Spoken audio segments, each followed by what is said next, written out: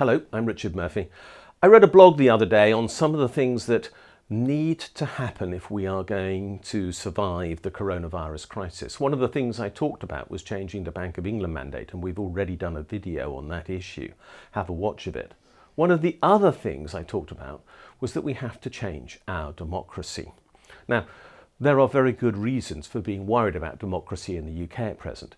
Even international financial agencies like Moody's, who assess the financial risk of owning UK debt, are saying that, frankly, governance in the UK at the moment is pretty ropey, and they think that we are a riskier country as a consequence of our democracy being under threat. Now, that's an extraordinary thing to say. So, what's this about? Well, we have a first past the post democratic system.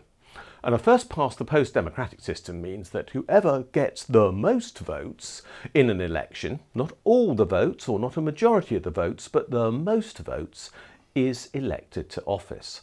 Now, that has meant that almost no government for decades has ever had a real majority of support in the country when assuming office. And that's also true, by the way, of course, of our local authorities, which are also first past the post. This is not, by the way, true for our devolved governments.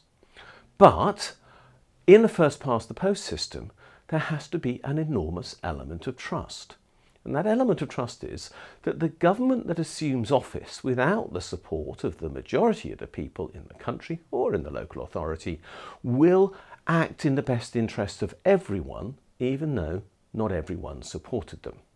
Now, that assumption has by and large held true, and governments and local authorities have respected the rights of oppositions to challenge them, to raise questions, to put forward alternative proposals, and that they have been seen to be credible when doing so.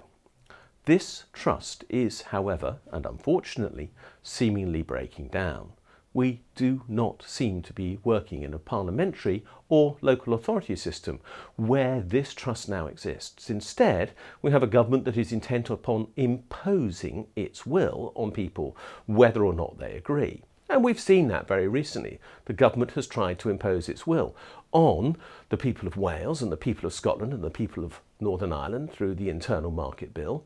It's trying to impose its will through, for example, the imposition of lockdowns in places where local authorities are saying they don't want them. And quite clearly, there are other examples as well.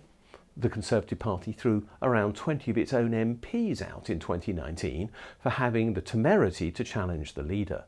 So the elements of trust that have existed in our parliamentary democracy system, which allowed cooperation despite differences of opinion, are coming to an end.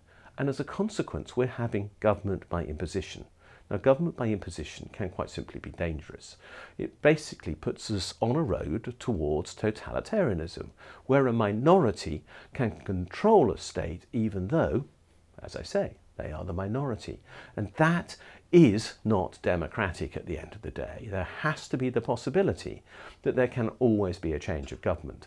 That does not exist when this element of trust disappears. So we need, I believe, to change our voting system now. What am I suggesting? Quite simply, that we need to move towards a system that, for example, is in use in Ireland or is in use for some of the devolved country elections and which is in use, as we are well aware, in many European countries, which is called proportional representation.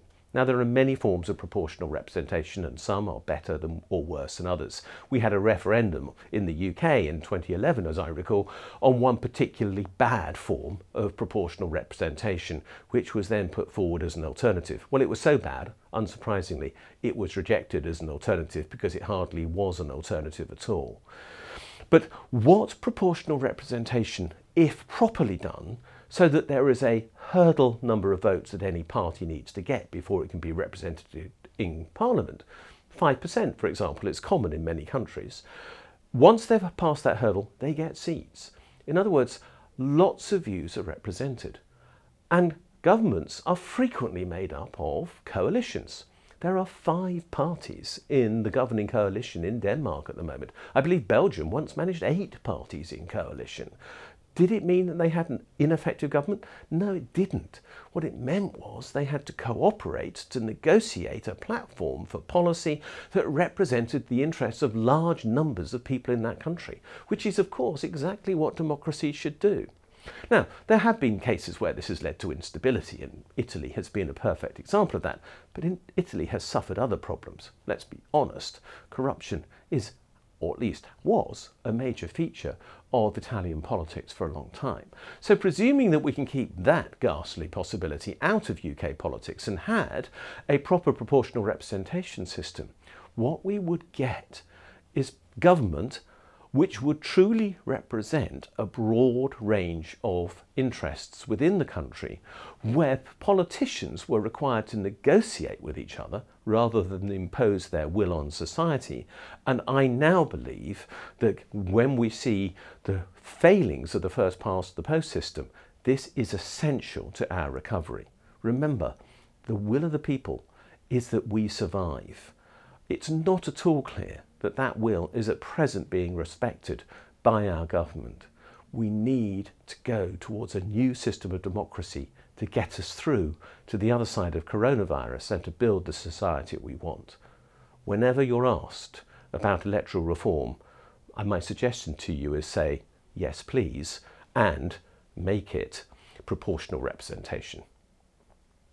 Thanks for watching this video. If you've enjoyed it, I'm pleased. If you want to see other videos like this, there are links below this screen. If you want to subscribe, hit the subscribe button. Follow me on Twitter as well, at Richard J. Murphy. Look at my blog, Tax Research UK. And if you'd like to donate, because this video series is being largely paid for by donations, there is a donations button on, button on every single post on my blog. Thanks a lot.